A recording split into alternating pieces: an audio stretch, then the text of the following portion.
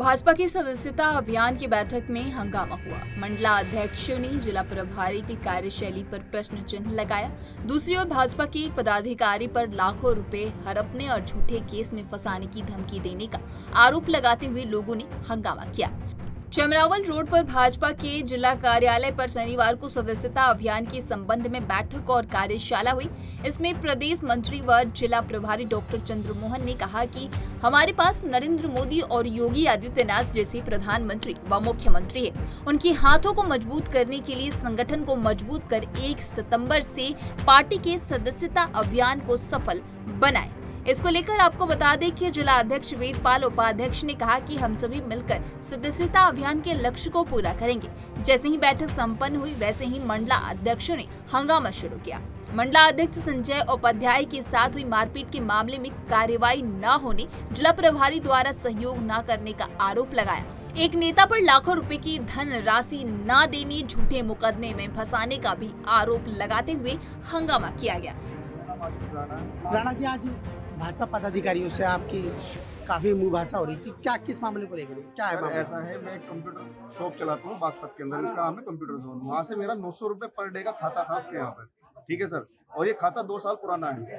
और जब हमने बोला कि हमारे पैसे दे दे तो उसने जब भी हम उसके पास जाते थे देंगे देंगे देंगे और उसके बाद फिर धमकियाँ चालू हो गई कुछ दिनों बाद। जब वो चुनाव में हार गया उसके बाद उसने धमकियाँ चालू कर कि पैसे जिससे उतना ले लियो हमारी है और सब कुछ हमारा है। ठीक है जिला अध्यक्ष का हमारा है सब कुछ हमारा हम कुछ हम हम पैसे जिससे मैं जेल चला जाऊँगा पंद्रह हज़ार रुपये में वापस छुट जाऊँगा। आपके कुल कितने पैसे हैं? आपके सर मेरे मेरे और मेरी माताश्री के मेरी माताश्री एक खड़ी है इनकी एक डेढ़ लाख की कमेटी जिसमें कि अस्सी हज़ार रुपए इनके बकाया एक है और मेरे एक लाख तिरानवे हज़ार रुपए बकाया है जिसमें कि मैंने खाता बीच में रोक दिया था जब ये पैसे नहीं दे रहा था किसी से मैंने उसको खाता नहीं दिया और एक लाख तिरानवे हज़ार रुपए मेरे बकाया है। माता जी और आपके कुल कुल तीन लाख कितने? रुपए मेरा टोटल लगभग तीन लाख रुपए। माता जी का क्या नाम है? उषा रानी। कहाँ के रहने वाले हैं आप? अच्छा पदाधिकारी से शिकायत करी क्या आश्वासन दिया आप आश्वासन नहीं दिया जी जो पार्टी में कोई भी गलत काम करता है उसके खिलाफ कार्रवाई होगी ठीक है? और ये उन्होंने लिखित में ये चीज़ हमसे मांगी है हम सब एप्लीकेशन लिख रहे हैं और सबका नाम और अपने पैसे वगैरह जो भी है वो लिख रहे हैं। तो इसी बीच एक और व्यक्ति राकेश त्यागी का बयान सामने आया है। उन्होंने बीजेपी के नेता पर बड़ा आरोप लगाया है। क्या कुछ कह रहे हैं? सुनिए। शुभ नाम? राकेश त्यागी।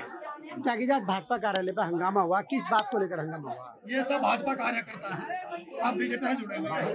एक बीजेपी का जो अपना जिला मंत्री कह रहा है सतपाल उपाध्याय, उस वो लोगों की पूंजी स्कीम चलाता है। किसी का सौ रुपया खाता रोज का किसी का पाँच सौ रुपया खाता, किसी का हज़ार रुपया रोजा खाता।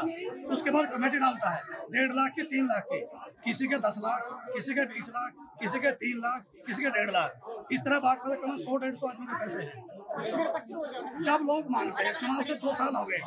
चुनाव लड़ने की तैयारी में था, टिकट मांग रहा था। आपके कितने पैसे थे? पैसे हिसाब करता नहीं किसी का भी। कमेटी में पचास लाख रुपए लिख रखे हैं।